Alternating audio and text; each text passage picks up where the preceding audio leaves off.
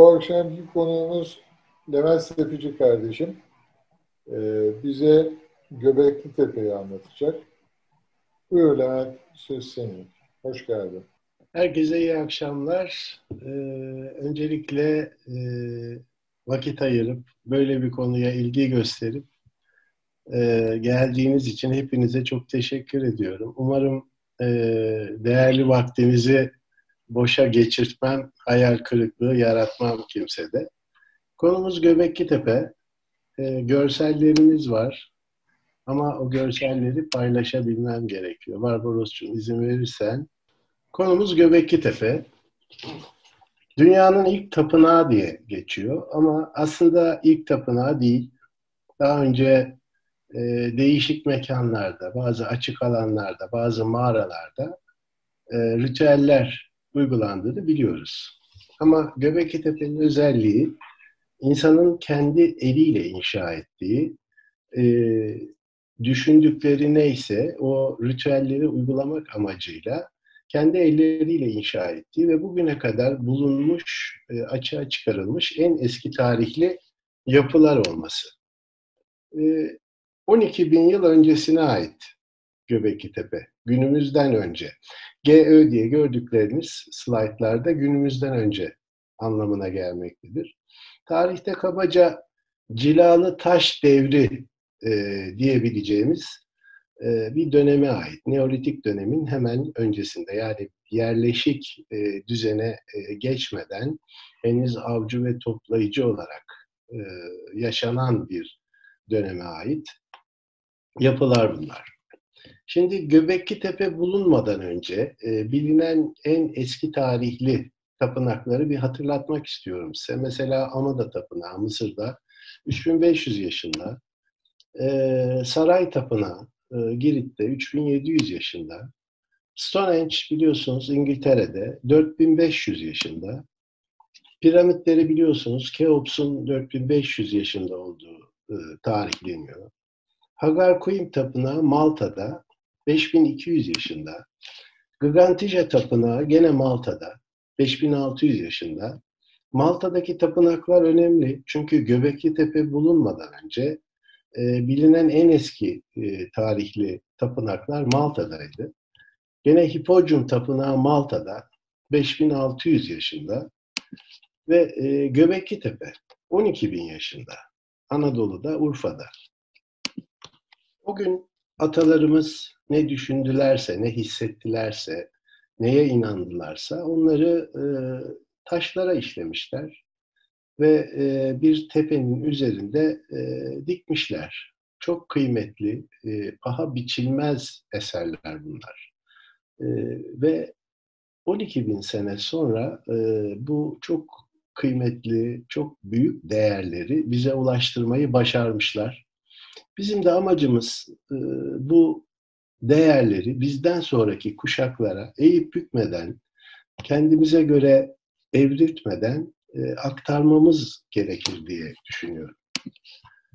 Biraz tarihten bahsetmek istiyorum, genel tarihten. Göbekli Tepe'nin tarihteki yerini e, anlayabilmemiz için. İşte dünyanın 4 milyar yaşında olduğu hesaplanıyor.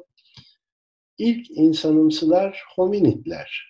7 milyon yıl öncesine ait e, fosil kalıntıları var, bulguları var. Ama insanın atası e, Homo ergaster kabul ediliyor. Homo ergaster'e ait bulgular da 2,5 milyon yıl öncesine ait. Niye e, Homo ergaster insanın atası kabul ediliyor? E, bir kere vücutları tüysüz. E, ikincisi o döneme baktığımızda e, o dönemki canlı popülasyonu içerisinde en gelişmiş beyin yapısına sahip Homo ergaster. Bugünkü insan beynine göre daha düşük kapasitede ama o popülasyon içerisindeki en gelişmişi.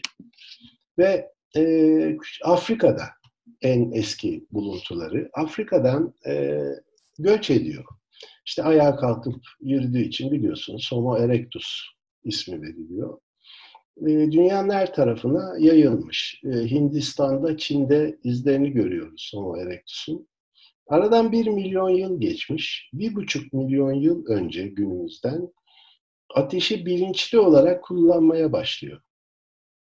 Ateşi bilinçli olarak kullanmaya başladıktan sonra da e, birçok şey değişiyor. Fizyolojik yapısı değişiyor ve e, Homo erectus'tan birçok ırklar türüyor. Değişik ırklar türüyor. Mesela Heidelbergensisler var. E, günümüzden 140 bin yıl öncesine kadar Heidelbergensislerin e, izlerine rastlıyoruz. Kuzey Afrika'da, Güney İngiltere'de Heidelbergensisleri görüyoruz. Biliyorsunuz Neandertaller var. E, Neandertal gelmiş geçmiş en dayanıklı canlı kabul ediliyor. Kısa kol ve bacaklara sahip, çok sağlam bir e, fizik yapısı var. Burunları yassı, e, dolayısıyla burun yassı olduğu için sanki klima gibi görev yapıyor ve terlemiyorlar. Kol bacak kısa olduğu için ısı kayıpları çok düşük. E, buzul çağında hayatta kalabilmişler. Konuşabiliyorlar. Ateşi bilinçli olarak kullanabiliyorlar. E, aile yaşantısı kurabiliyorlar. Birlikte avlanabiliyorlar. Yani birçok şeyi yapabiliyorlar ama buna rağmen e, nesillerini devam ettirememişler e, maalesef nesilleri tükenmiş. 30 bin yıl öncesine kadar e, devam etmişler. Homo sapiens e, bizim atamız. Aslında içlerinde en vahşisi Homo sapiens.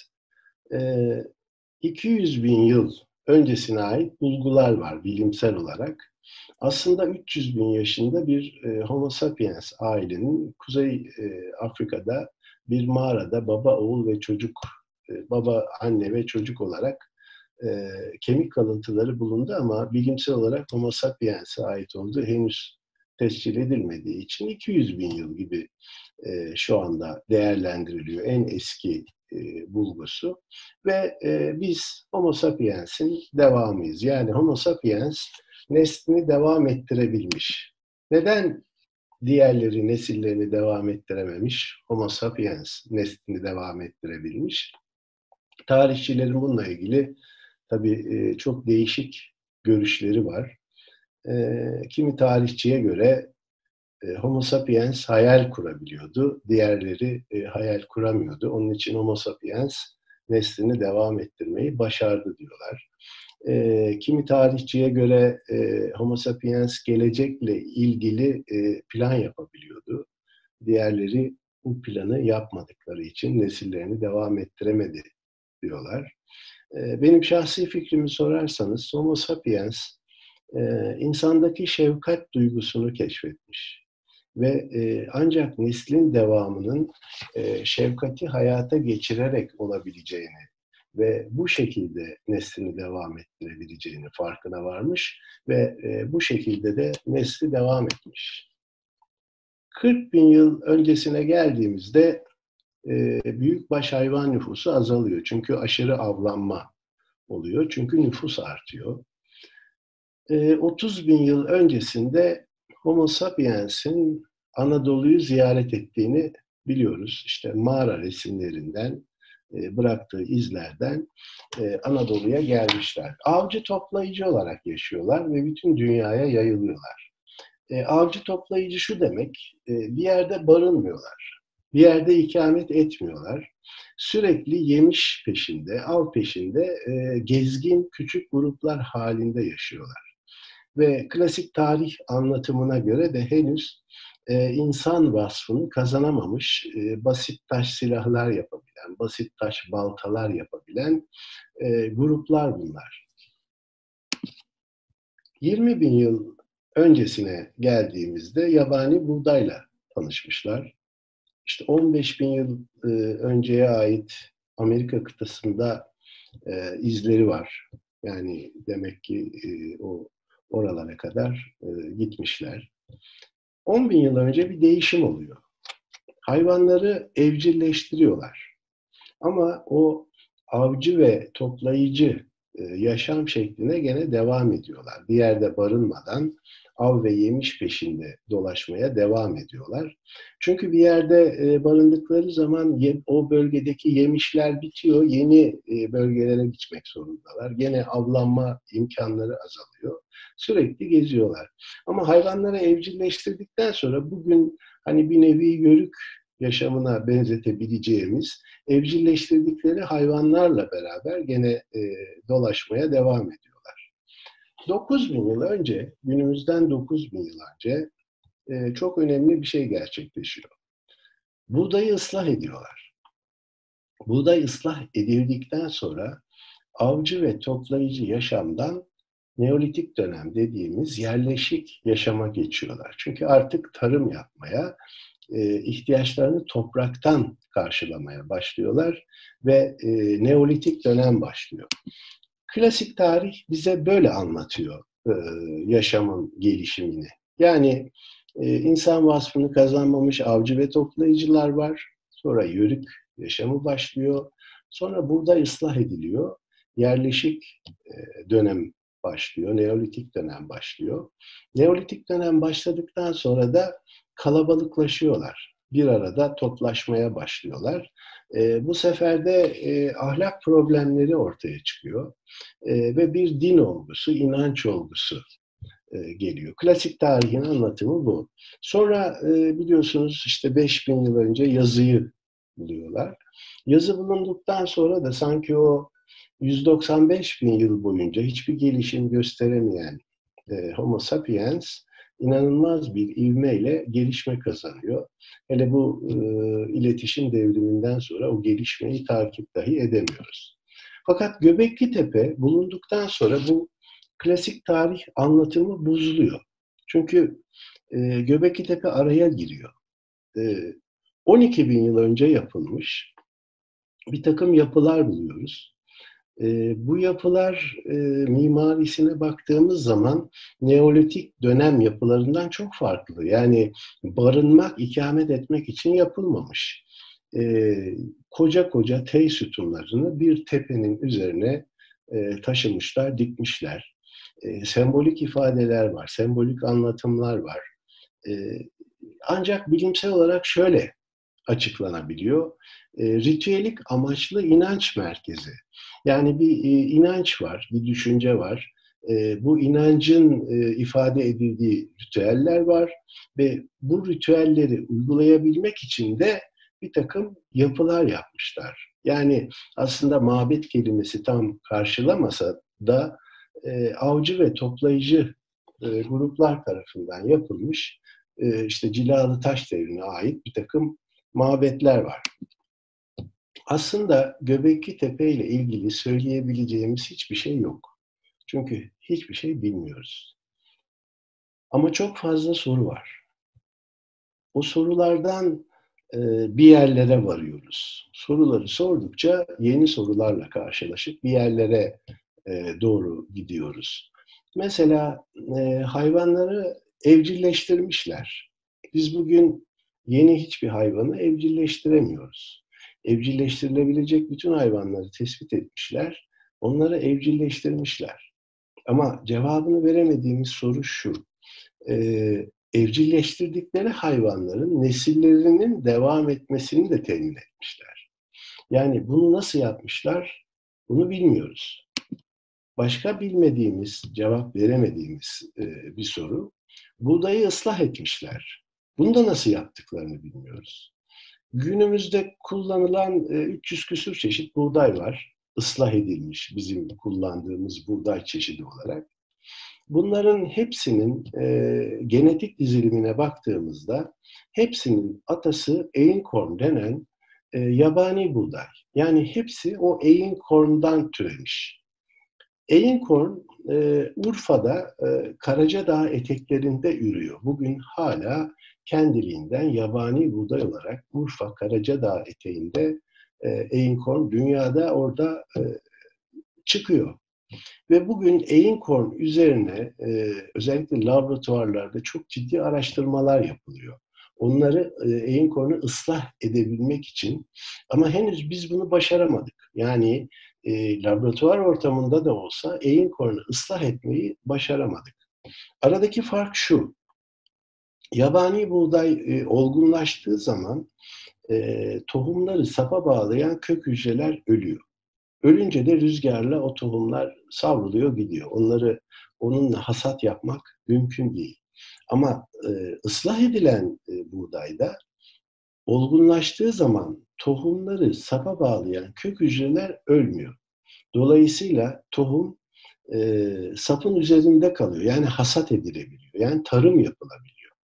Bunu nasıl yapmışlar, nasıl ıslah etmişler henüz e, bunu çözemedik. Bunu e, bilmiyoruz. Çünkü arada bir tek gen var.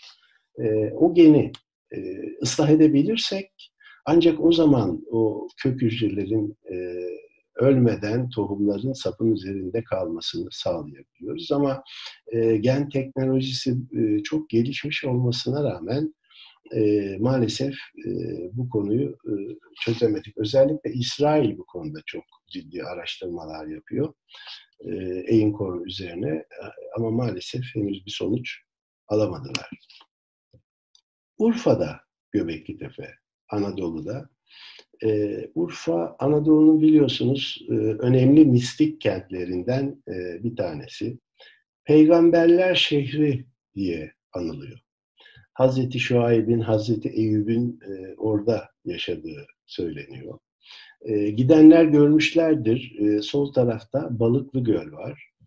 E, Urfa'nın merkezinde. E, Balıklı Göl için de e, Hazreti İbrahim'in ateşe atıldığı yer olarak e, düşünülüyor. Hatta e, ateşin suya, odunların da balığa dönüştüğü gelen turistlere e, anlatılıyor. E, böyle rivayet ediliyor. Hatta Hazreti İbrahim'in orada doğduğu e, söyleniyor. E, biliyorsunuz Hazreti İbrahim önemli bir figür. Tek tanrılı dinlerin atası kabul ediliyor. İbrahim ses kökünü de sevmişiz. Ve kamil, kutsal gördüğümüz kişilere benzer ses köküyle anlam ve isim vermişiz. Tabii bu anlam ve ismin e, aslında kökü de Göbekli Tepe'den geliyor. Çünkü Göbekli Tepe'de kamil kişi, kutsal kişi e, M, H ve M sesiyle e, ifadelendiriliyor. Klaus Schmidt Göbekli Tepe'yi bulan Alman arkeolog. Çok genç yaşta vefat etti. Kendisini buradan almak istedim. Göbekli Tepe'ye çok önemli katkıları oldu. E, çünkü bu tip e, buluntular e, öyle kolay kolay bilim camiasına e, kısa sürede kabul ettirilemeyen, e, ettirilemeyen, bilim camiası tarafından onay verilmeyen yerler e, Klaus Schmidt tabiri caizse e, çabalarıyla Göbekli Tepe'yi e, bilim camiasında da zapta geçirdi. Yani e, gerek tarihsel e, yerini, gerek e, amacını, gerekse e, fonksiyonel e, durumunu e, bilim camiasına kabul ettirdi. 61 yaşında vefat etti. Çok genç yaşta. Onun için buradan kendisini de anmak istedim. Göbekli Tepe isminin de nereden geldiğini bilmiyoruz. Bölgede üç dil konuşuluyor. Türkçe, Kürtçe ve Arapça. E, bu üç dilde de göbek kelimesi ortak kelime. Yani her üç dilde de göbek, göbek anlamına geliyor. Takıyla e, anlamlar değişiyor. Göbekli e, Arapçada tam böyle göbeğinde, merkezinde e, demek. Dicle ve Fırat havzası da bir insana benzetiliyor. Baş kısmı aşağıda, işte ayakları yukarıda gibi düşünürseniz. Göbekli Tepe de bu insana benzetilen e, Dicle ve Fırat havzasının e, tam da göbek deliğine denk geliyor. Bu da tabii enteresan bir özellik. Bu ilk hali, kazılar başlamadan önceki hali. E, bölge tepelik bir bölge. Değişik yükseklikte tepeler var. Bunların içinde en yüksek olanı 800 rakımlı Göbekli Tepe. Bazalt yapıda kayalık bir arazi, çok geniş bir bölge, e, bazalt kayalık e, bir bölge.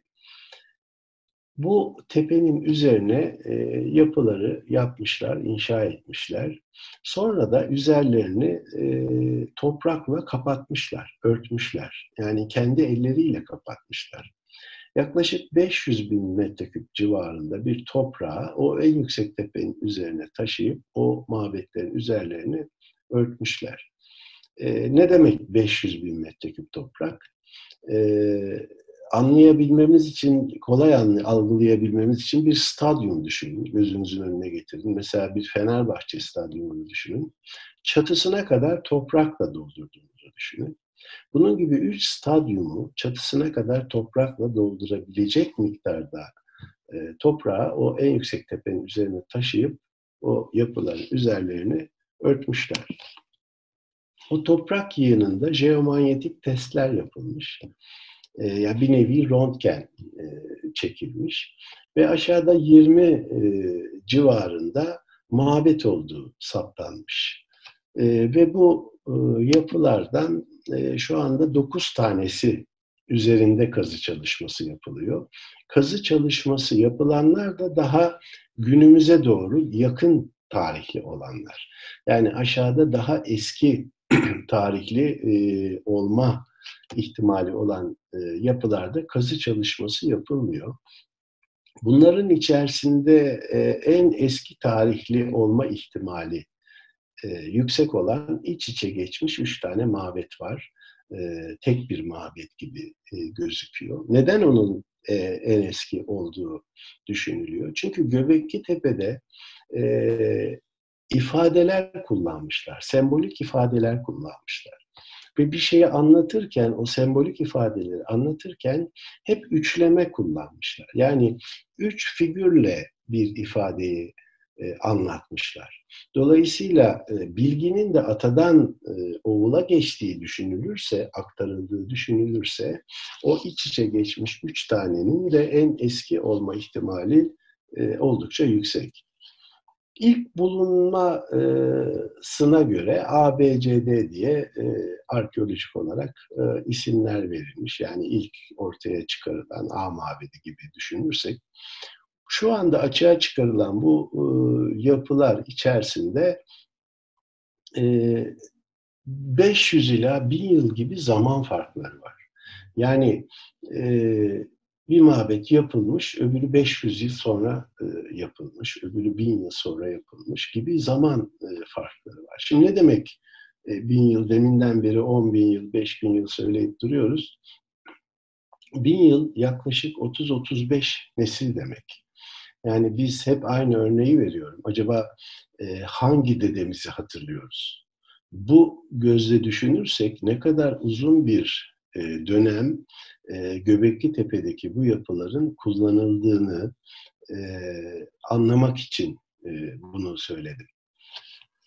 O yapıları inşa ettikleri, yapılarda kullandıkları taşların çıkarıldığı ocağı biliyoruz e, tepenin yaklaşık bir kilometre aşağısında o çok sert bazalt e, yapıdaki kayalık arazi e, kum taşına, kireç taşına dönüşüyor bir bölgede ve e, kullandıkları e, taşları oradan yontup çıkartmışlar. Pardon. Mesela bu taş e, yontmaya başlamışlar bu T sütunu e, bir şekilde çıkarmaktan vazgeçmişler. Çünkü büyük ihtimalle çatlamış bir problem olmuş. 7 metre boyunda, aşağı yukarı baş kısmı da 3 metre genişlikte. E, böyle bir sütun 50 ton geliyor. Yani o 50 tonluk sütunu e, ocaktan yoğurtmuşlar, çıkarmışlar, bir kilometre yukarıdaki tepeye taşımışlar ve orada T şeklinde e, ayağa dikmişler. Şimdi böyle bir işi yapabilmek için aşağı yukarı 500 kişilik bir ekibin olması gerektiği hesaplanıyor. Ama biz 500'ümüz bir araya gelsek bu işi yapamayız. Çünkü bu işi yapmakta tecrübeli bir ekip olması gerekiyor. Yöneticilerin olması gerekiyor. Bu ustaların, ustabaşlarının olması gerekiyor. Planlayıcının olması gerekiyor. Yazının bulunmasından 7000 yıl öncesinden bahsediyoruz. Ee, nasıl haberleşmişler, nasıl bir araya gelmişler, bu yetkinliğe nerede e, erişmişler e, bunları bilmiyoruz. Tabii metalin çok öncesinden bahsediyoruz. E, bütün bu yaptıklarını çakmak taşlarını ve boynuzları kullanarak yapmışlar. Ama ilginç olanı e, o bölgede çakmak taşı yok. Yani e, yanlarında getirmişler çakmak taşlarını. O tepede o işi yapacaklarına karar vermişler. E, avadanlıklarını da yanlarında getirmişler. O işi yapabilmek e, üzere. Bu C mabedi, açığa çıkarılanların içerisindeki en eski e, olanı. E, yaklaşık 12 bin yaşında. 30 metre çapında bir e, yapı bu. E, spiral formda kaya zemini oyarak yapılmış. Yani o en yüksek tepeye çıkmışlar, çakmak taşlarıyla yontmaya başlamışlar, yontmuşlar, yontmuşlar ve o tabanda gördüğünüz düz zemini elde etmişler. Onun üzerine de e, mabedi inşa etmişler. Tabii bu kaya zemine uyularak mabet yapma e, fikri de çok e, revaçta olmuş sonraki dönemlerde. İsa peygamberin yakın tarihine kadar yapılan tüm mabetlerin hepsi kaya zemine uyularak yapılmış. Öyle de bir özellikleri var. Mabedin tabanı eğimli. Batı tarafı daha yüksekte, doğu tarafı daha alçakta. Yani batıdan doğuya doğru bir eğim vermişler ve kaya zemine oydukları için de tabanı su sızdırmıyor. C mabedinde olduğu gibi diğer bütün mabetlerinde tabanları su sızdırmıyor. Hatta yakın tarihli olanları o sızdırmazlığı sağlamak için kireçli bir malzemeyle de sıvamışlar e, zemini. Ve o doğu tarafında alçak olan tarafta böyle delikler bırakmışlar. Ne kadar yağmur yağarsa yağsın e, mabedin içinde su toplanmıyor, su birikmiyor. O bıraktıkları deliklerden su e, gidiyor. Tabii o kayalık arazide e, o deliklerin yerlerini nasıl tespit etmişler bunu bilmiyoruz. O deliklerden giden su nereye gidiyor bunu da bilmiyoruz. Ama e, istedikleri zaman o delikleri tıkıyorlarmış. Yani mabetlerin tabanını e, suyla doldurabiliyorlarmış. Tabii o suyla ilgili e, önemli ritüelleri varmış. E, bununla ilgili birçok yorum var, birçok e, düşünce ve fikir var. Ama en yaygın olanı ya da bilimsel olarak en e, kabul göreni şu, e, mabedin tabanı belli bir seviyede suyla doldurup gece e, izlemek istedikleri yıldızı işaretliyorlarmış tabana. Ve e, belli dönem aralıklarıyla bu işaretlemeyi yaparak e, izlemek istedikleri e, gök cisminin haritasını e, çıkarıyorlarmış. Yani suyu ayna gibi e, kullanarak e, gökteki dizilimi mabet tabanına bir nevi rasathane gibi işliyorlarmış. Etrafı spiral bir duvarla çevrili. Kapısı güneyde. C mabedinde olduğu gibi diğer bütün mabetlerin de kapıları güneye bakıyor. O güneydeki kapıdan giriyorsunuz. Böyle dönemeçli bir yol var. O dönemeçli yoldan gidiyorsunuz ama ortada gördüğünüz yumurta şeklindeki orta hücreye giremiyorsunuz. Çünkü oranın bir kapısı yok. Oraya girebilmeniz için ya birinin size yardım etmesi gerekiyor ya bir şeyin üzerine çıkıp e, içeri atlamanız gerekiyor. Yani demek ki o ortadaki yumurta şeklinde hücre e, daha e, özellikli kişilerin e, girebildiği bir yermiş. Etrafında T sütunlar var. O T sütunların hepsi merkeze bakıyor. Merkeze döndürülmüş. Ortada da diğerlerine göre daha büyük, daha heybetli iki tane T sütun var. Bunlar da gene e, doğu batı yönünde yerleştirilmiş ortadaki o heybetli sütunlar. Yani bir yönle ilgili de e, şeyleri var. E, önemli bir bulguları ve bilgileri var. Sütunların en önemli ögesi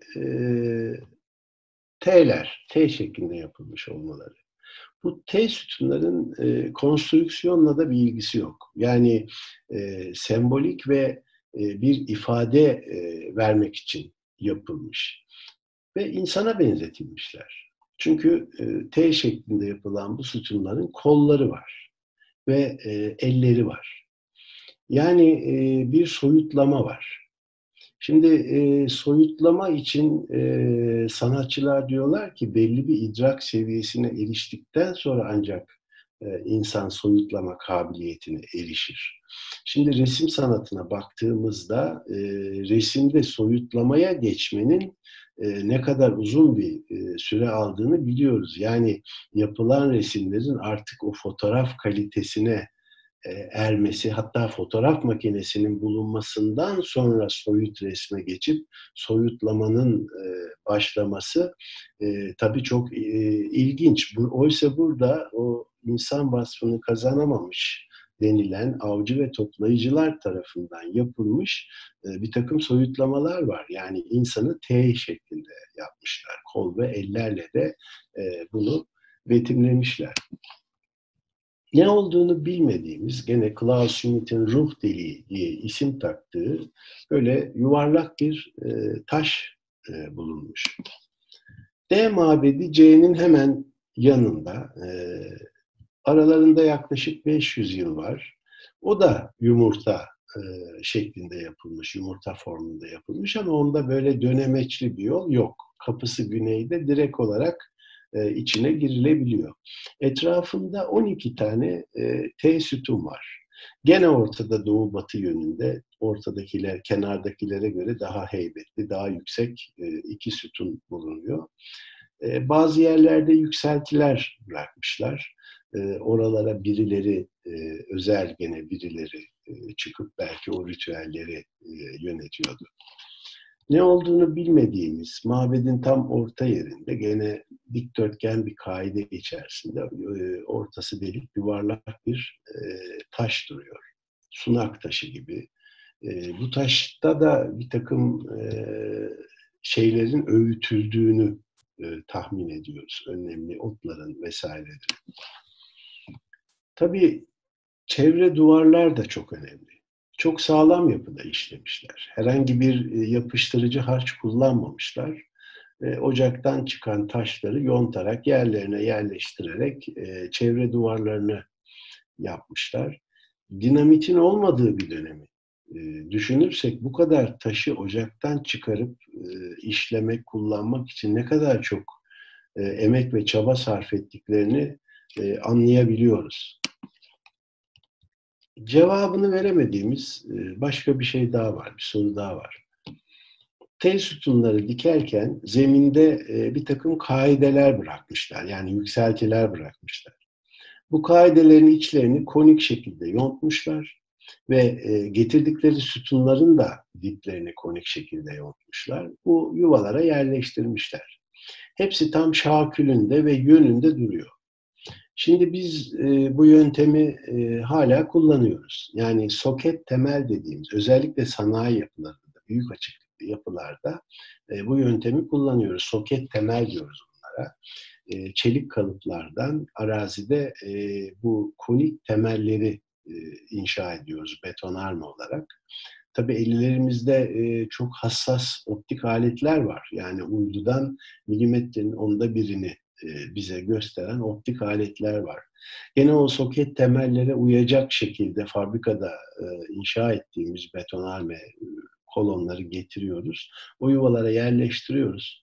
Ama sonra bir bakıyoruz o kadar optik aletlerle hizalayıp düzene sokmaya çalıştığımız halde o sütunların biri böyle duruyor, biri böyle duruyor.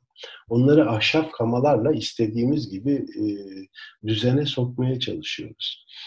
burada öyle bir ahşap kamayla düzene sokma işi yok. Yontmuşlar, o sütunları yerleştirmişler. Hepsi şahbülünde ve yönünde duruyor. Yani demek ki e, ciddi bir matematik bilgisine de sahiplermiş. O konik şekilde yontarak o sütunları e, istedikleri e, şakülünde ve yönünde yerleştirebilmek için. Bunu da nasıl becermiş, bu yetiye nasıl vermişler bunu da bilmiyoruz. Çok sayıda heykel var. Bunlar e, paha biçilmez eserler. Çok kıymetli eserler. E, ortak özellikleri var birçoğunun. E, mesela insanla ilgili e, betimlemelerde e, dudaksız heykeller yapmışlar. Dudak yapmamışlar. Ve e, son derece basit işlemişler. Mesela bir top e, yuvarlak e, yontulmuş bir top düşünün. Üzerine bir T yapmışlar ve bir insan yüzü e, ifadesi çıkmış ortaya. Tabii e, bu e, basitlemeler de e, belli yetiler isteyen e, şeyler. Ve bu heykellerin diziliminden, sütunların diziliminden e, şunu anlıyoruz e, net olarak ki bu yapıların üzerleri kapalı değilmiş, açıkmış. Yani herhangi bir ahşap ya da başka bir e, şekilde örtülmemiş. E, arkeolojide bunlara temenos deniyor. Yani üstü açık kutsal alan. Genellikle tepelerde yapılıyor ve ay mabedi olarak ifade ediliyor. Çünkü gece e, gökyüzünü izlemek önemli bu tip yapılarda. Çok sayıda e, heykel var, figür var. E, yaptıkları e, kabartma figür olarak işlemişler yaptıklarını. Ve bütünden oyma yöntemiyle yapmışlar. Yani taşı yontmaya başlamışlar, yontmuşlar, yontmuşlar ve gördüğünüz gibi kabartma figürler olarak e, ortaya çıkarmışlar. Tabii bunu e, mesela çizmek istedikleri bir tilkiyi e, sütunu koyduktan sonra çizip içine oyarak yapmak çok çok daha basit bir e, uygulamayken hayır öyle yapmamışlar. Kabartma olarak e, yapmışlar. Ve e, bunları da e, monoblok hiç hatasız işlemişler bir arkadaşımız var. E, diyor ki yani biz e, öğretim görevlisi e, diyor ki son sınıf öğrencilerine mesela çocuklara diyor Göbektepe heykellerini ödev olarak veriyoruz.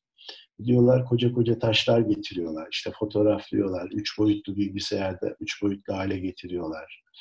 E, ellerinde her türlü e, yontma aleti var avuç içi hiltilerine kadar e, yoğuntuyorlar, yapmaya çalışıyorlar. Ama sonra tam ödevi verecek biri geliyor diyor ki işte ya hocam tilkinin kuyruğu koptu ne yapacağız? Yani burada kuyruğu kopuk bir tilki de yok. O çakmak taşlarıyla son derece mükemmel bir şekilde e, işlemişler. Çok sayıda figür var. Tabii bunlar e, değişik ifadeler, değişik anlatımlar olarak e, karşımıza çıkıyor. Hayvan figürleri var. İşte aslanlar var, domuzlar var, tilki, yılan, örümcek, akrep, e, kertenkele, değişik değişik hayvanlar var. Kuşlar var, e, yabani kuşlar var, su kuşları var, e, turnalar vesaireler ve e, bir de böyle soyut semboller. Mesela işte altta bir hilal, o üstünde ortası delik bir daire, onun üzerinde H gibi böyle soyut e, ifadeler de var. Ama e, demin de söylediğim gibi ortak özellik bir üçleme var. Yani bir şey anlatacaksa üç ortak figürle, üç figürle e, anlamlandırmışlar. Üç figürle sembolik hale getirmişler. Ama ortak e, figür e, yanda gönye şeklinde gelen kollar ve göbek hizasında birleşen eller var T sütunların üzerinde. Tabii bu bize ataerkil e, kültü anlatıyor. Çünkü e, ataerkil kültte eller göbek hizasında birleşiyor. Figürün dişi ya da e, eril olmasının e, bir anlamı yok. Ellerin e, buluşma noktası, ellerin birleşme noktası bize e, kültü ifade ediyor. Çünkü ana erkil külte geçtiğinde bakıyoruz eller göğüs hizasına çıkıyor. Çünkü orada da gene figürün eril veya dişil olması önemli değil. Ellerin durumundan ataerkil ya da anaerkil e, kült olduğunu anlayabiliyoruz.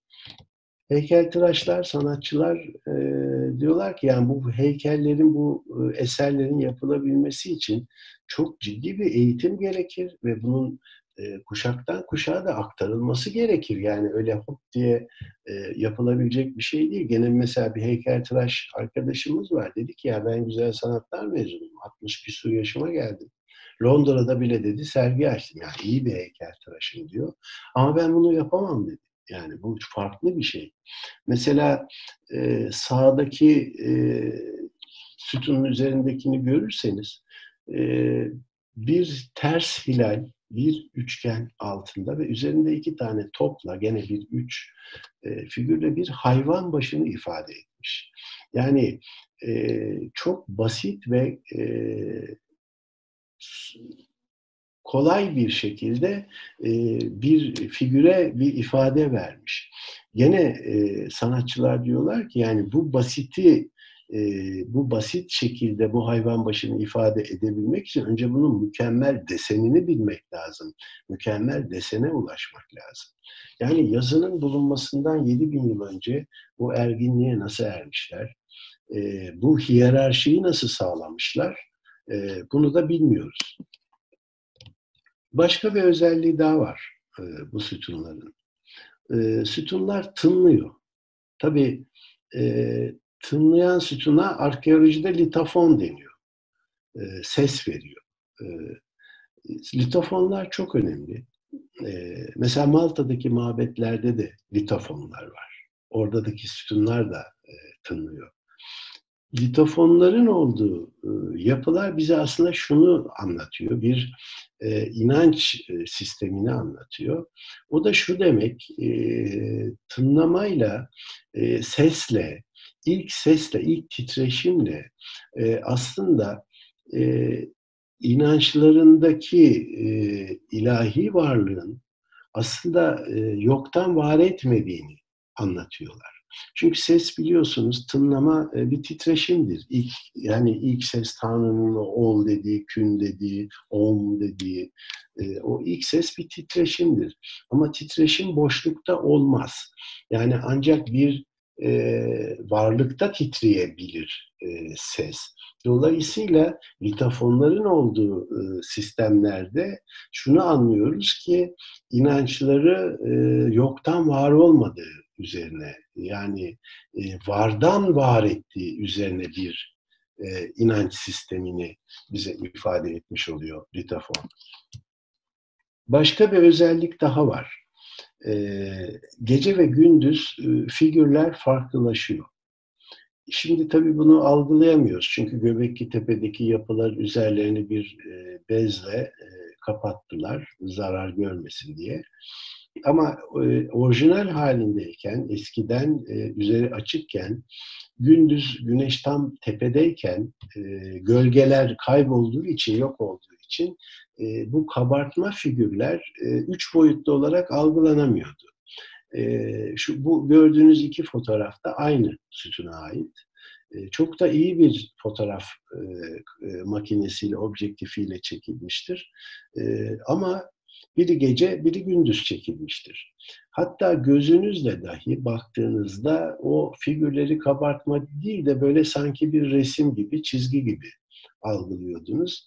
Ee, ne zaman ki gölgeler oluşmaya başlıyor, işte güneş e, belli bir açıya giriyor, batmaya başlıyor. O zaman figürler kabartma olarak algılanmaya başlıyor. E, hatta o dönemde e, turist rehberleri gruplara özellikle saat 6'da falan götürmeye çalışırlardı ki o kabartma figürler algılanabilsin diye. Ve Göbektepe ile ilgili çekilen resimler, belgeseller genelde gece çekilmiştir ki o kabartma gene algılansın diye. Sonra biri demiş ki ya bu adamların yani lambası mı vardı? Acaba gece ateşin ışığında nasıl bunlar gözükecek? O ateşin hani alazlanmasıyla da sanki o figürler hareket eder gibi de bir hal alıyor. Bir özellik daha var. Mesela C mabedinin girişinde o güneydeki e, kapının iki yanında iki sütun var. İki tane T sütun var. E, C'de olduğu gibi bütün e, mabetlerin kapılarının e, girişlerinde iki T sütun var. Yani iki sütun arasından giriyorsunuz içeriye. E, ama o iki sütun üzerindeki aslan kabartması tarihteki ilk aslanlı kapı diye e, söylenirse de daha ilginç olanı kapıdan girdikten sonra karşınıza bir tablet çıkıyor. Tabletin üzerinde de bir ölü yaban domuzu var. Yani e, ölmüş olduğu çok net e, ters dönmüş bir ölü yaban domuzu var. E, Klaus Schmidt e, sanki ölümü mü hatırlatmak istiyorlardı bize.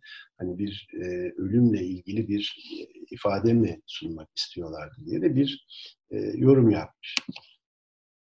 Başka çok önemli bir özellik daha var. Mabetlerin hiçbirinde e, kadına ait figür yok. Bütün e, figürleri eril olarak betimlemişler. Ve hatta bunu çok abartılı bir şekilde yapmışlar. E, bütün hayvan figürlerine abartılı bir şekilde erkeklik organı e, koyarak e, bütün figürlerin eril olduğunu e, göstermişler ve kadına ait bir figür bırakmamışlar. E, sol altta resmini gördüğünüz, sağda da kendini gördüğünüz Dogon, e, Göbektepe'nin bulunmasına e, sebep heykeldir. E, arazi sahibi Şavak Yıldız e, o tarlayı sürerken e, işte bir yere takılıyor, e, onu taş kaya zannediyor, uğraşıyor, didiniyor, çıkarıyor ve bu Dogon çıkıyor e, karşısına. E, alıyor eve götürüyor. Evde diyorlar ki ya bunu ne getirdin eve? Böyle şey eve getirilir mi? Al götür bunu nereye götüreceksen. Misafir geliyor, o geliyor, bu geliyor. Neyse alıyor müzeye götürüyor. Ve e, bırakıyor müzeye. E, müzede kaydediyorlar ismini. Sonra defalarca soruyor. Diyor ki ya ben size bir heykel getirmiştim. Hani onun bir şeyi çıktı mı diye. Bir şey bekliyor çünkü getirdiği, bıraktığı karşında. Fakat bir cevap alamıyor müzeden. Çünkü bilmiyorlar ne, nereye, ne, neye ait olduğunu.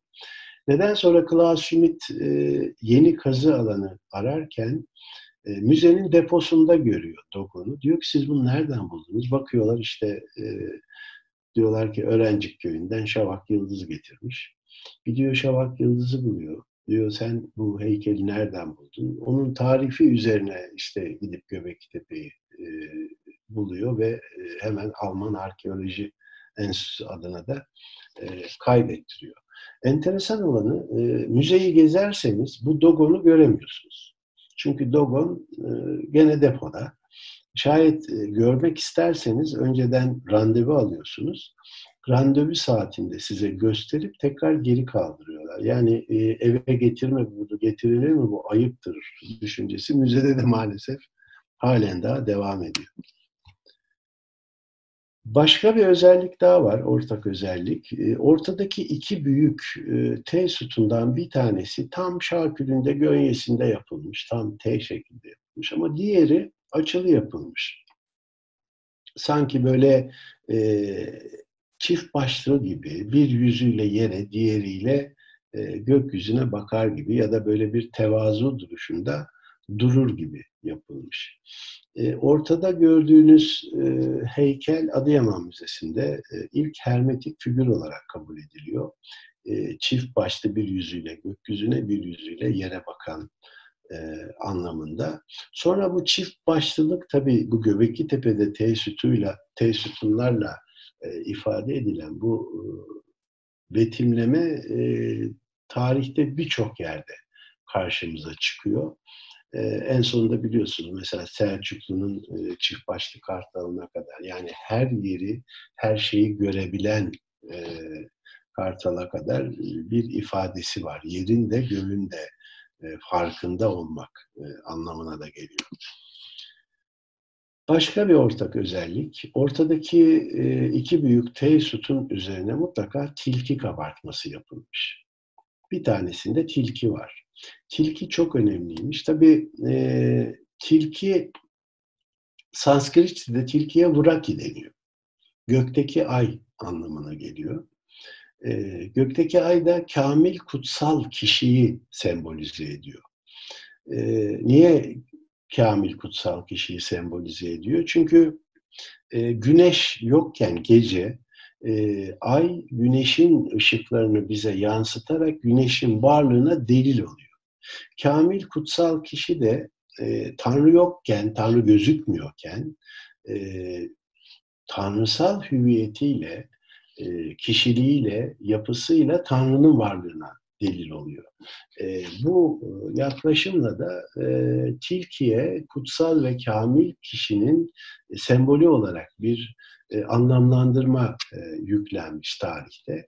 Tilki biliyorsunuz e, çok zeki bir hayvandır. Bir de e, günümüzdeki sembolik e, karşılığı da yer altındaki kadim bilginin sahibidir.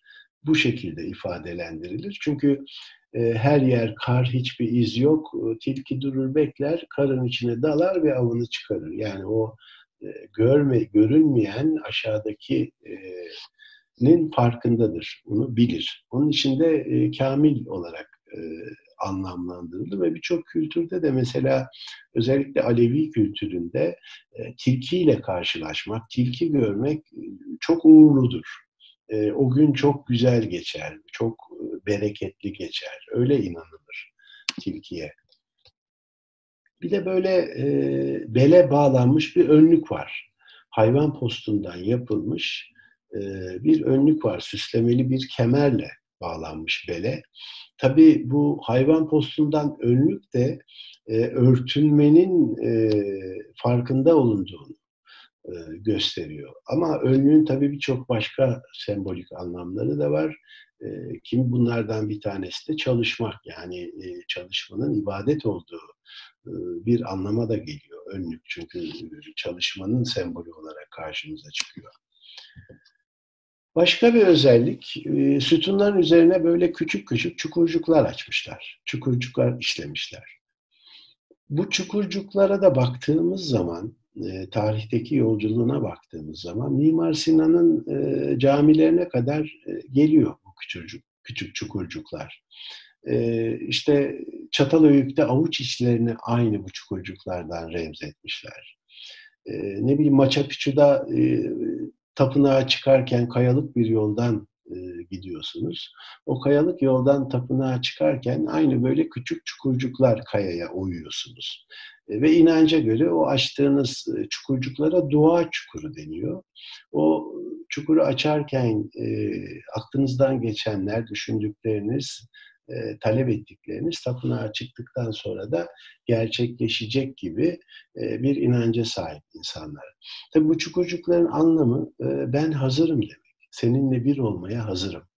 Yani e, Çatalhöyük'teki e, avuç içlerine açılmış olan o çukurların e, dua ederken ellerimizi yukarı kaldırarak e, avuç içlerimizi e, göstermesi gibi birçok yerde, birçok e, şeyde e, bir e, hazırlık anlamına geliyor. Hazır olmak anlamına geliyor.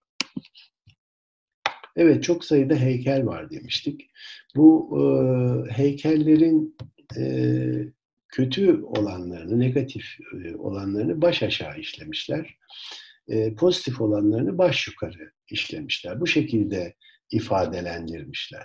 Bunların içinde en önemlisi totem, 12 bin yaşında olan totem. Müzede sergileniyor.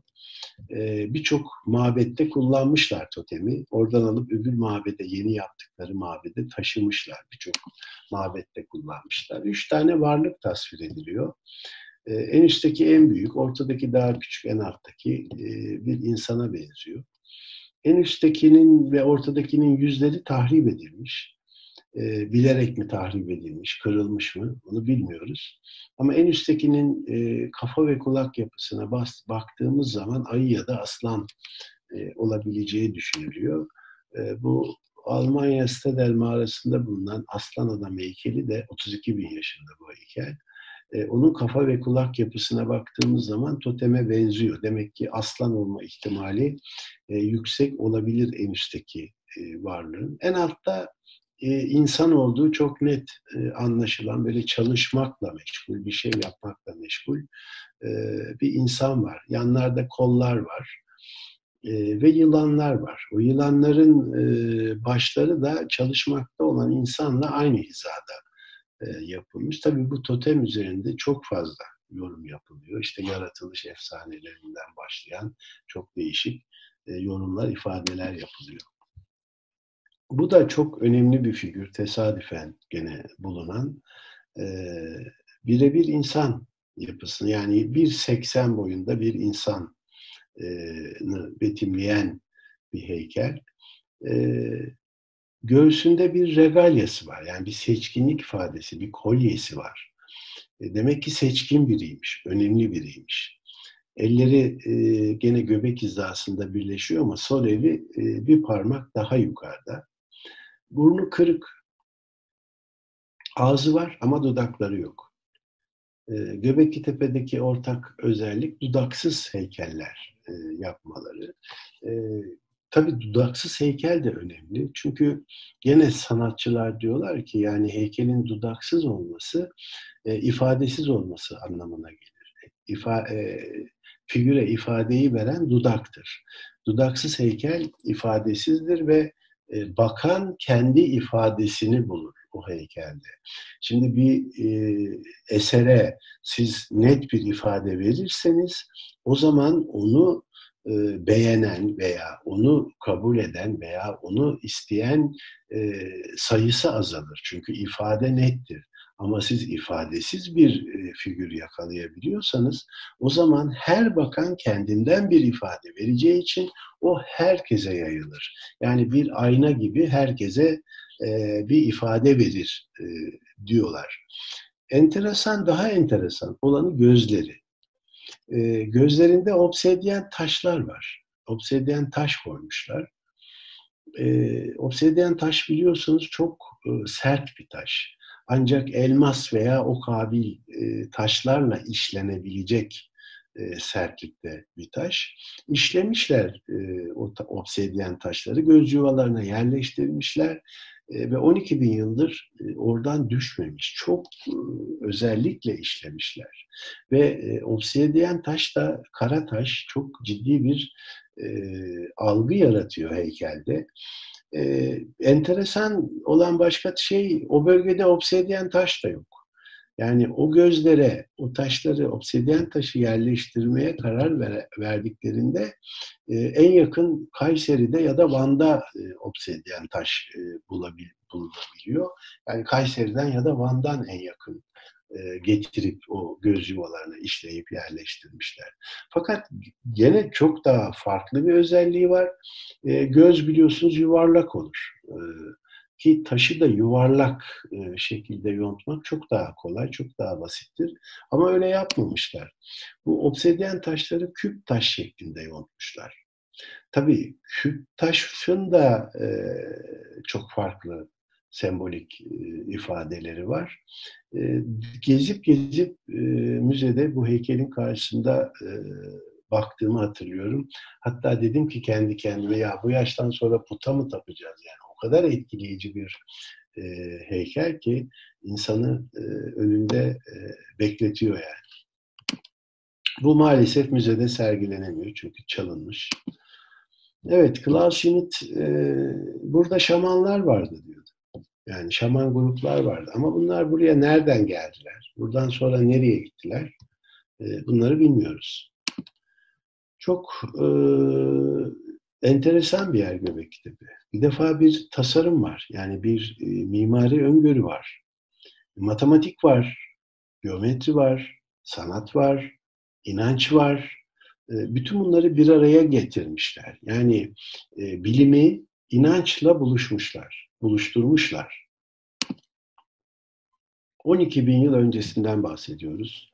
E, tarif etmekte zorlanıyoruz e, farkındalık seviyelerini, e, bilinç seviyelerini ve ritüelleri de yaşamlarının çok önemli bir parçasıymış ve taşlara işledikleri sembollerle de bu düşüncelerini, bu inançlarını anlatmaya çalışmışlar. Kendilerinden sonraki kuşaklara da bunu aktarmaya çalışmışlar. O kadar net bir şekilde inanıyorlarmış. O düşündüklerinin doğru olduğuna o kadar net bir şekilde e, karar verip bunu sonraki kuşaklara anlatabilmek, aktarabilmek için çok büyük e, emek sarf etmişler. Aslında e, en önemli soru şu belki de. E, biri bize deseydi ki e, işte 5 yıl sonra, 3 yıl sonra medeniyetiniz sona erecek veya 10 yıl sonra medeniyetiniz sona erecek. Acaba biz e, bizden sonraki kuşaklara ne bırakırdık? Nerede bırakırdık? Nasıl bir şey bırakırdık? E, ya da bir şey bırakmak için uğraşır mıydık? Çok emin miyiz yaşamımızda? Çok emin miyiz düşüncelerimizden? Ve onu aktarmak için e, bu kadar emek sarf eder miydik? Bunları bilmiyoruz.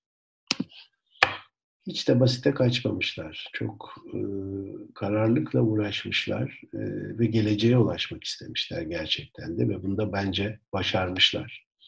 Yani gö- manayı, düşündüklerini, hissettiklerini e, sembolik ifadelerle soyut hale getirip e, bunu somuta çevirmişler. Yani soyutu somutla buluşturup anlatmışlar.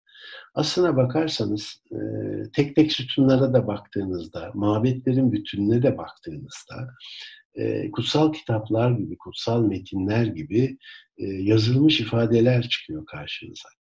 Yani Göbekli Tepe e, bence e, hakkın kelamı diyebiliriz. Çok önemli bir yer. Çok enteresan bir yer.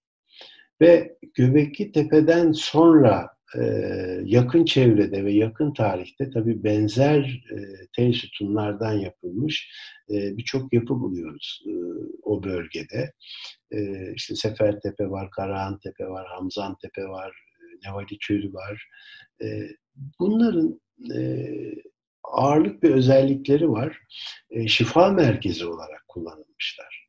Yani demek ki Göbekli Tepe'de bir şifa varmış o şifayı sonradan e, yaşamlarında devam ettirmek istemişler. E, bunların içinde en önemlisi tabii Nevali Çöri. Nevali Çöri Kürtçe bir kelime. E, hastalığın olduğu su yatağı demek. Yani hastalık ve su var.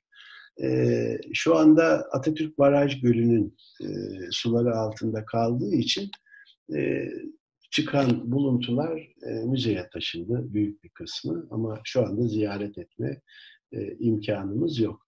Yani bir e, hastalıkla ilgili, bir şifa ile ilgili e, ifadeler hep karşımıza çıkıyor. Göbekli Tepe sonrasında ki e, dönemde yapılan benzer e, yapılardaki özelliklerde. Çok kısa olarak birkaç sembolden bahsetmek istiyorum.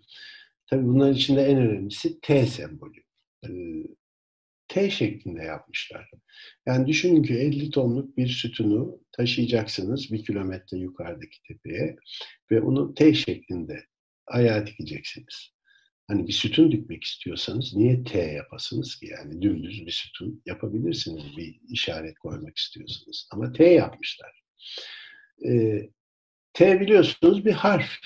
Ee, bizim alfabemizde de var T harfi. Ama biz T'yi harf olarak kullanıyoruz diye onlar T yapmamışlar. Yani e, yaklaşırken, düşünürken şu şekilde düşünmek lazım.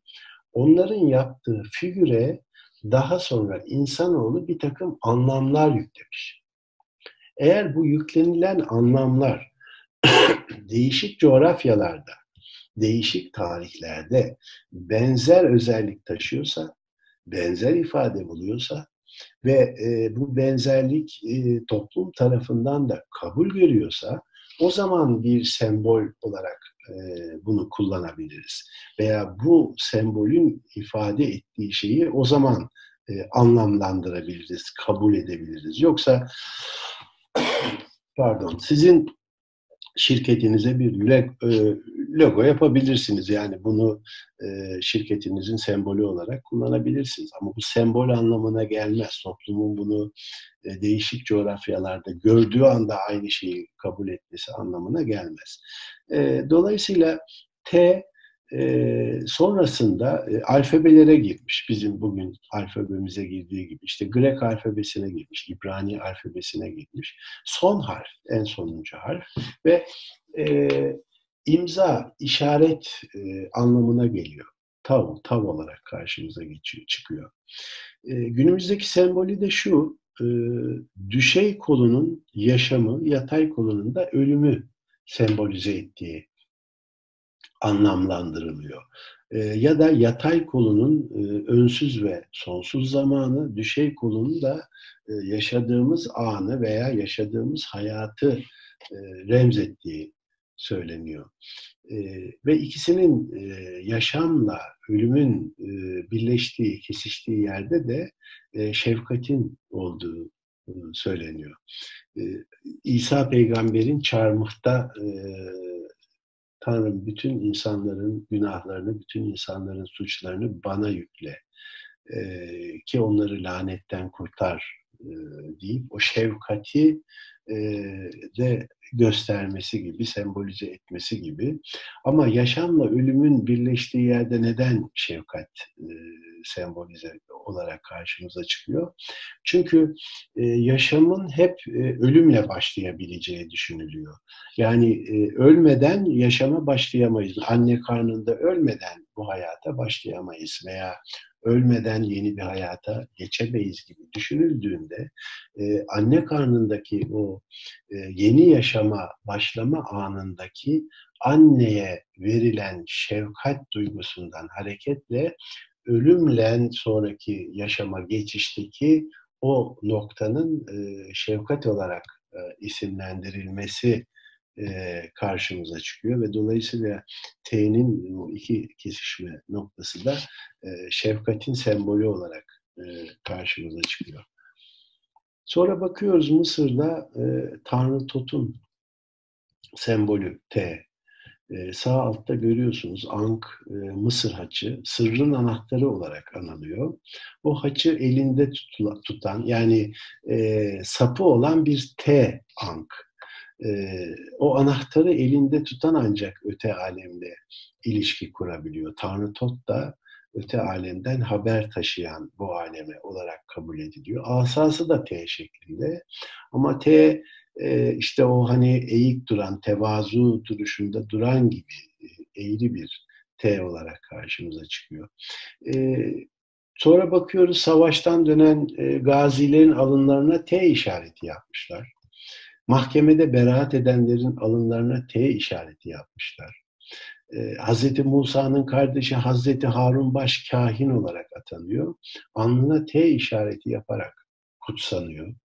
Ee, Tevrat'ta girmiş yani biblik bir özellik de kazanmış. İşte Hezekiel rüyasında görüyor alınlara işaret koyan birini işaret konulmayanlar daha sonra helak ediliyor. Yani bir iyilik, seçkinlik, güzellik e, ifadesi olarak da gene T karşımıza çıkıyor. E, sonra T'leri birleştirmişler, H yapmışlar. Yani iki zıtlığın e, birleşiminden ortaya çıkan e, H'yi yapmışlar. H'ye bakıyoruz, H'nin e, tarihteki yolculuğuna bakıyoruz. Günümüz tasavvufuna kadar e, girmiş H. E, İbnül Arabi e, Harflerin İlmi adlı eserinde şöyle diyor, yani yedinci mertebeyi anlatır diyor, gayb alemindeki e, bilinmeyen alemdeki yedinci mertebeyi anlatır. E, hayat vericidir. Kendisiyle birleşeni yükseltir. Kamil insanın manasıdır. Yani e, kamil olan insanın manasıdır. Yani o zıtlıkları, iki zıttın birleşiminden, içimizdeki evil ve dişilin e, birleşiminden ortaya çıkan vicdan, o ve vicdanın parlatımından e, oluşan şefkat. O şefkate ulaşan kişi de e, kamil insan olarak tanımlandığı için e, H'yi kamil insanın manası, ifadesi olarak e, söylüyor tasavvufta. Tabii e, Göbekli Tepe'deki bu ritüeller en fazla Hinduizm'de karşımıza çıkıyor. Ee, özellikle o tınlayan taşlardaki e, uygulamaları Hinduizm'de e, özellikle Om sembolizmasında e, buluyoruz. Biliyorsunuz Om sembolizmasını e, üç harften oluşan, A, U ve M harfinden oluşan ama tek hece gibi, tek ses gibi söylenen, zikir maksatlı söylenen bir hece, Om şeklinde ifade edilir. E, ve bu titreşimi eğer tam ve mükemmel şekilde uygulayabilirseniz hastalıklardan iyileşebileceğiniz veya e, şifa bulacağınıza inanılır. Tanrı'nın ilk sesi, o ilk titreşimi e, olarak kabul edilir Am. E, A sesi çok tiz bir sestir. İnsanı rahatsız eden bir sestir. Çocuğun ilk doğduğunda çıkardığı tizlikte bir sestir. İnsanı hemen böyle rahatsız eder ama ilgi çeker, e, dikkat çeker. U sesi e, en uzun mesafeye ulaşabilen e, titreşimdir. E, en uzağa kadar e, gider daha e, geniş e, aralıklı ama e, en uzağa gidebilen sestir. M de o dudaklar kapalıyken hmm diye titreşen, içimize e, doğru dönen sestir. Yani pardon, ama şunu anlatıyor bize. Dağın başına çıkıp da om deyip olmak değil yaşamın içindeyken kendi içimize e, dönebilirsek o zaman kamil insan e, olabileceğimizi e, söylüyor. Ve Hinduizm'de Trimurti olarak isimlendiriliyor. Yani gene bir üçleme e, olarak isimlendiriliyor. Bunu şunun için koydum bu resmi.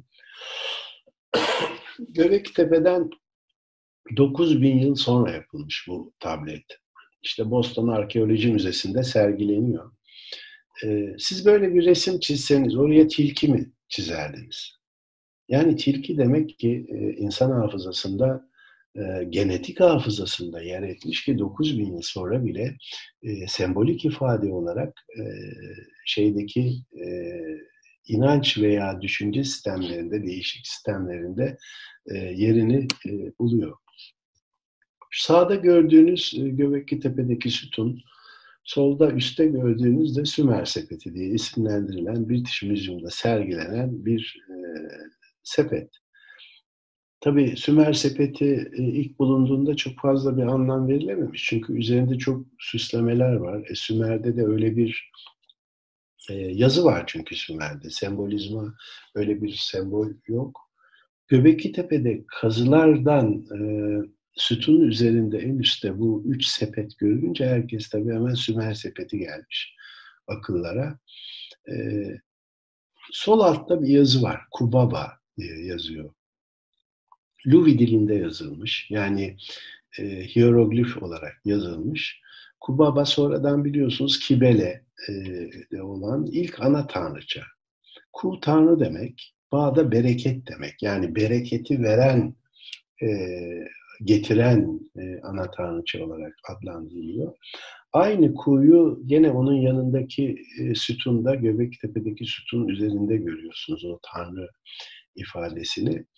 E, sepetin üzerinde de göze benzeyen şekilde ve üzerindeki kuşu da e, görebilirsiniz. Aborjin de karnına çiziyor aynısını. Sormuşlar günümüzde aborjinlere. Demişler ki niye böyle bir şey çiziyorsun karnına? E, demiş ki Tanrı içimizde. Onun için demiş biz e, bunu anlatmak için e, bu ifadeyi çiziyoruz.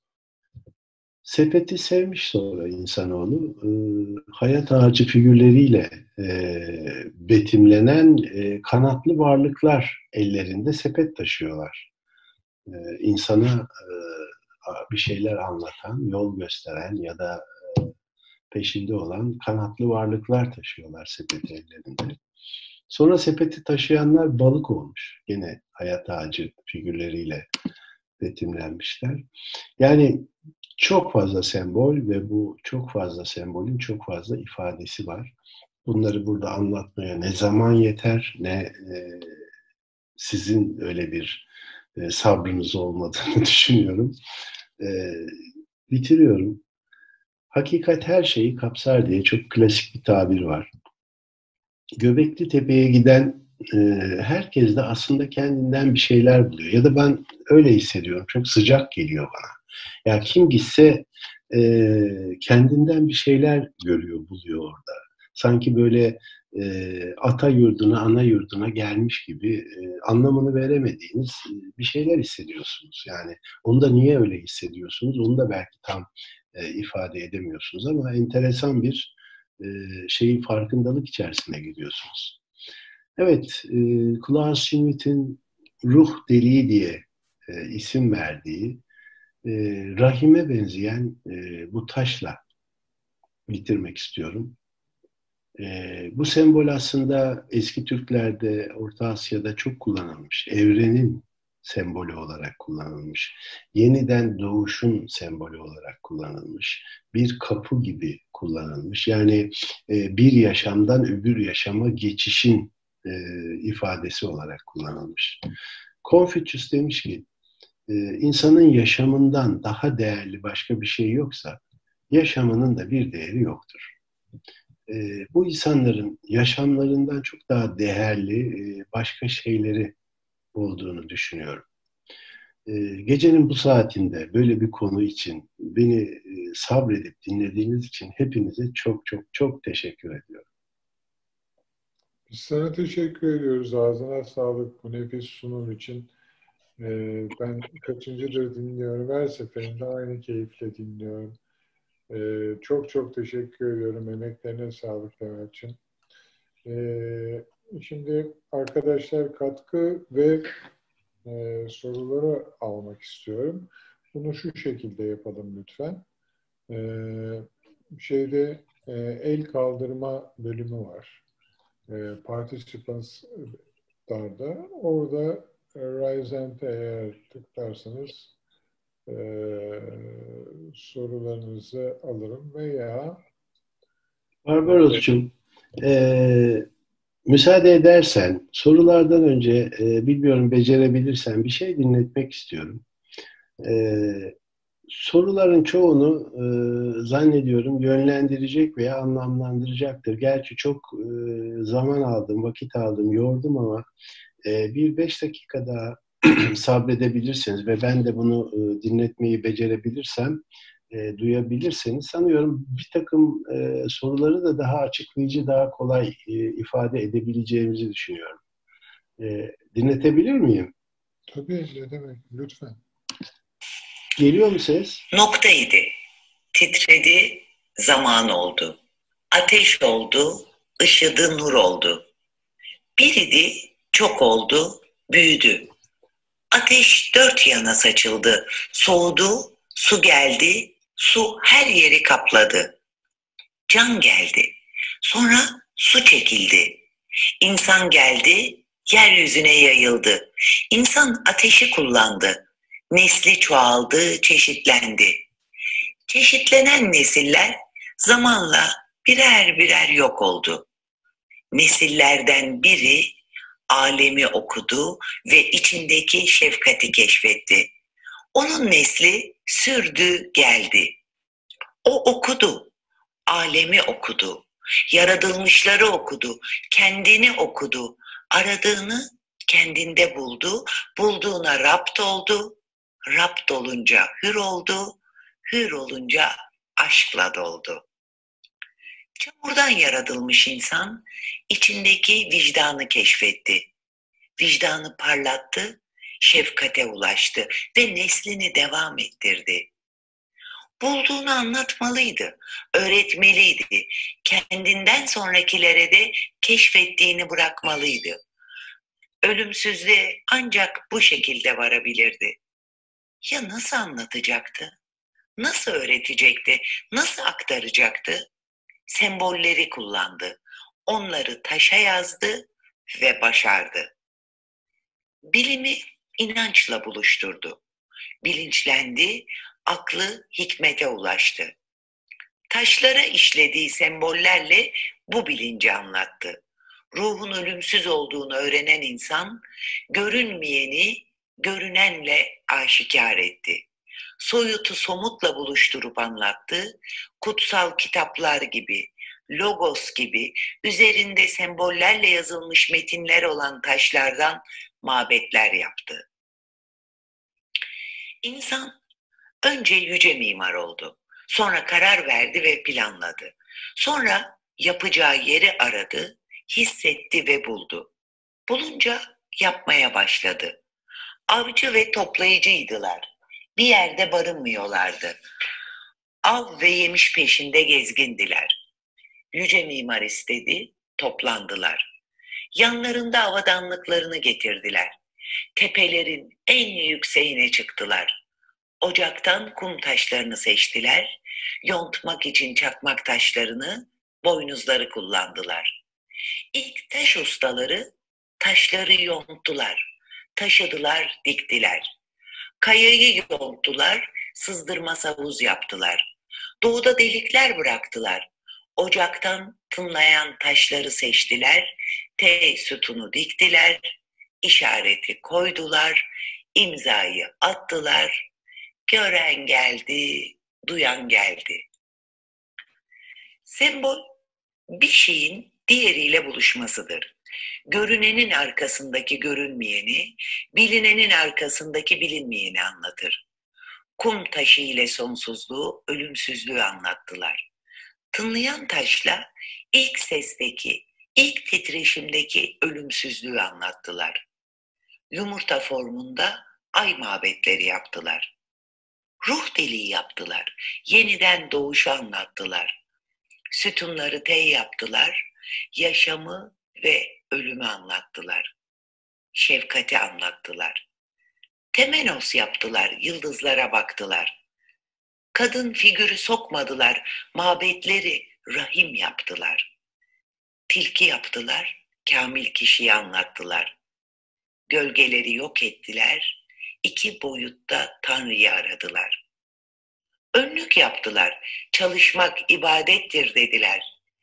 Me ile ketum oldular, kemalin başlangıcı ketumiyettir dediler.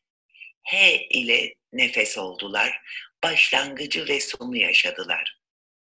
Çukurcuklar yaptılar, Tanrı'ya dua ettiler, birleşmeye hazırız dediler. Aslan ile nefsini dışarıda bırak, mabede öyle gir dediler. Yılan ile kötü huylarını terk et, yüksek bilince var dediler. Domuz ile kaybolan bilgiye kavuştular. Su ile önce var, sonra hiç oldular. Aşka ulaştılar. Sepetleri Musa'yı yüzdürdü, onu kurtardı, bilgiyi var etti. Ku ile Tanrı'yı, kuş ile bereketi anlattılar. Zamanı yavaşlattılar, sabrı öğrettiler. Meheme kamil insandır, şefkate ulaşandır dediler. İlk ve sonu bulduk, bitti dediler. Toprakla yani şefkatle üzerine örttüler. Sonra gittiler. Teşekkür ediyorum dinlediğiniz için. Sabrınız için de tekrar tekrar.